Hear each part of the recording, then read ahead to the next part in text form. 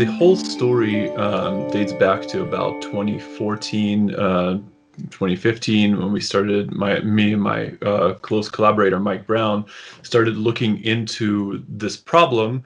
And we were inspired by the work of some other researchers, Chad Trujillo and Scott Sheppard, who pointed out that something weird was happening in the distant solar system. That there was this weird clustering of a particular orbital parameter of uh, um, of asteroids beyond Neptune um, called the argument of perihelion. We thought, okay, what's going on there?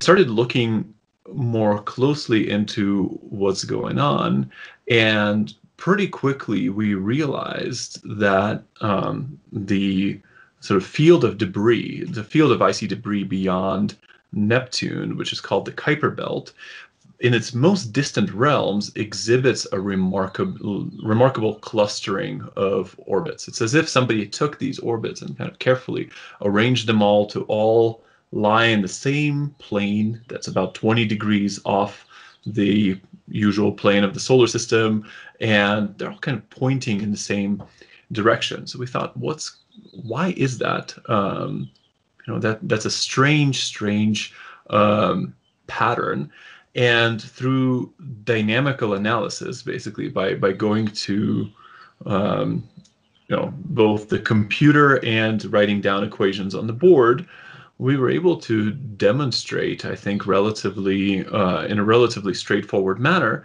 that the only plausible explanation for why the distant solar system looks arranged is that there is a distant gravitational source, right? Distant gravitational pull, which is keeping these orbits confined.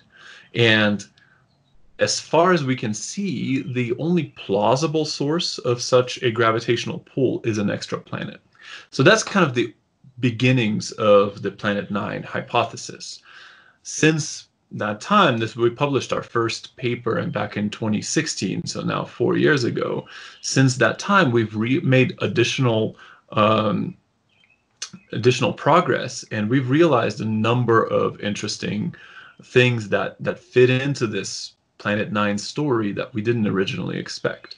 For example, one of the things that theoretically should happen if Planet 9 is there is the distant orbits of the solar system, things that lie well beyond the orbit of Neptune, should flip on their sides and then kind of pollute the inner solar system. By inner solar system, I mean things interior to Neptune with objects that are highly, highly inclined. And turns out such objects really are there.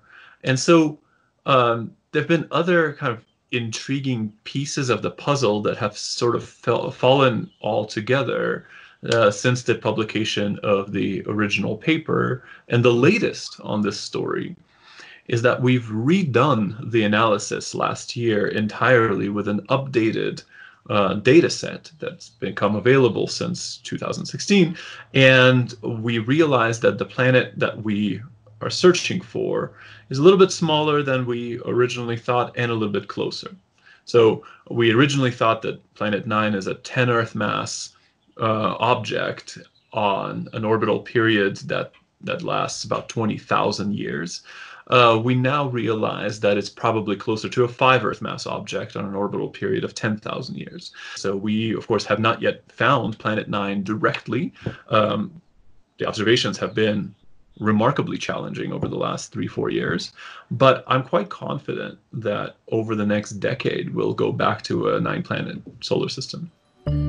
Get smarter faster with new videos every week from the world's biggest thinkers.